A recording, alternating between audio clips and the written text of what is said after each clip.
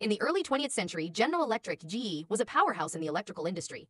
Founded in 1892, GE quickly became one of the most influential companies in the world. However, as the company grew, so did its dark side. In 1929, the stock market crash sent GE into a downward spiral, and the company was forced to lay off thousands of employees. To make matters worse, in the 1960s, GE was involved in a scandal involving a military contract, which led to millions of dollars in fines and tarnished the company's reputation.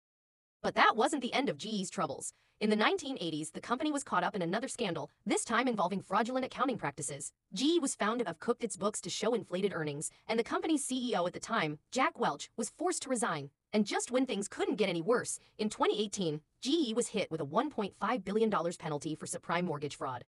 Still, GE continues to be a major player in the electrical industry. With a renewed focus on innovation and sustainable energy, the company is poised to make a comeback in the years to come. Subscribe and check out our other videos for more documentaries on the history of famous companies.